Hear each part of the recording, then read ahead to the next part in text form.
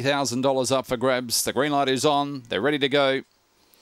And racing, Webleck Bell came out fairly showing speed was Rubel Manelli driving across Real Flash, Real Flash, the South Australian star drives the lead in the Oaks. In second place, Rubel Manelli, then followed by Webleck Bell. Back on the inside was Weston Josh. On its outside, Jamaica the Fun, followed by Sable Island, Weston Delhi. And Ron Ray Dreamers last off the back. Real Flash the leader, out by three lengths. Rubel Manelli on its outside, the Victorian Webleck Bell. And then followed by Weston Georgie on the corner. Real Flash is in front, out by two lengths on Webleck Bell. Troy Murray's going to get another WA Oaks. Real Flash wins by two and a half. Second, Webleck Bell. Third, tight, Rubel Manelli or Sable Island. And then followed by Weston Georgie. In behind them, Jamaica the Fun and Weston Delhi was one of the last in.